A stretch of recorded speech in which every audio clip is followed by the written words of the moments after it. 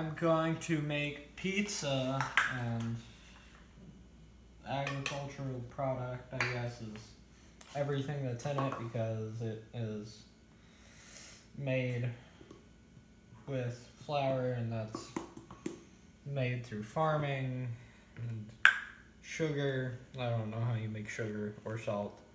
There's yeast. I don't know how you make that. But olive oil is.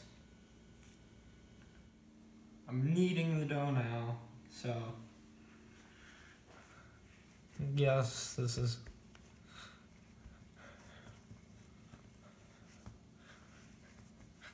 I'm rolling out the dough for the pizza.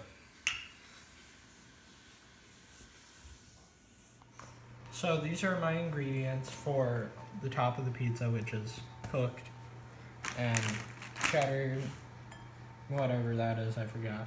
Swiss. That's Swiss. Um, mozzarella, sauce, pepperoni. Yeah, that's the pizza. Okay. This is what it looks like after. Or before it's cooked, but after I put it together. This is a completed pizza. Logan, stop saying cheese. That's weird.